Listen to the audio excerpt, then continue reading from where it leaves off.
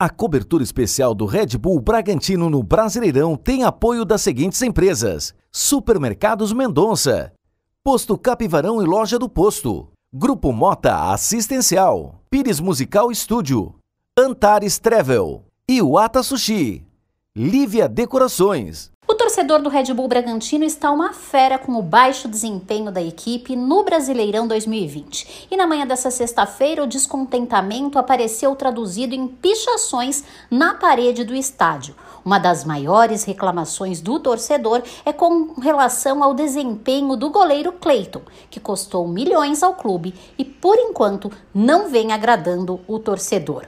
Na partida contra o São Paulo, aliás, ele falhou e o técnico Maurício Barbieri falou sobre o assunto. Olha, o Cleiton é um goleiro de um potencial enorme, é, a gente confia muito nele, tem muita é, confiança e sabe do potencial dele. Né? Os erros vão acontecer como acontecem com todos os jogadores, se não houvessem erros, não sairiam gols no futebol. Agora a gente só vai consertar, ajustar as coisas com o trabalho. A gente tem outros excelentes goleiros e a avaliação a gente vai fazer durante a semana entre qual é a melhor opção, enfim, para entrar. Mas volto a repetir, o Cleiton é um goleiro de muito potencial, muito bom goleiro, já nos ajudou em muitos momentos.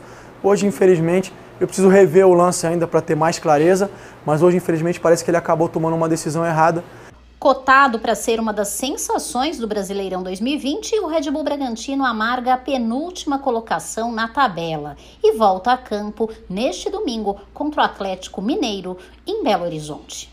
A cobertura especial do Red Bull Bragantino no Brasileirão tem apoio das seguintes empresas: Supermercados Mendonça, Posto Capivarão e Loja do Posto, Grupo Mota Assistencial, Pires Musical Estúdio, Antares Travel. Iwata Sushi, Lívia Decorações,